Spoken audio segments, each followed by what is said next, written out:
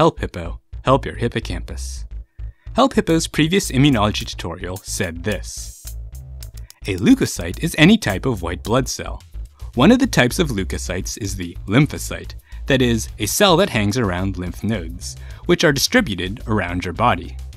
Lymphocytes include B and T cells from the adaptive cellular quadrant, and from the innate cellular quadrant, natural killer cells from mono kills granny.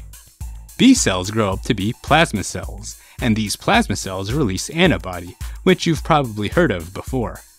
T cells either help or kill, and natural killer cells release chemicals that tell bad cells to commit suicide.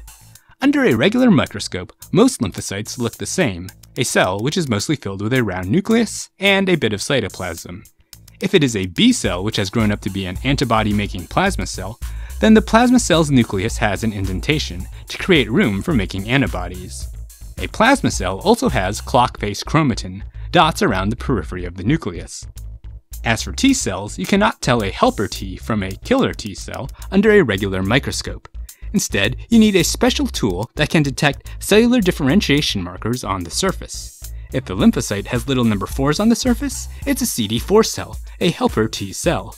If it has little number 8s on the surface, it's a CD8 cell, a killer T cell. And if it has little number 20s on the surface, it's a CD20 cell, a B cell. Remember, it is help for other cells, or it hates cells so much it kills them. Also, you will be rich if you have cash deposits of $20 bills. This is the histology for lymphocytes, a big nucleus that takes up most of the cell, which can be identified as either B or T cells, or natural killer cells. Our previous tutorial covered mono, and our next tutorial will cover granulocytes of mono kills granny.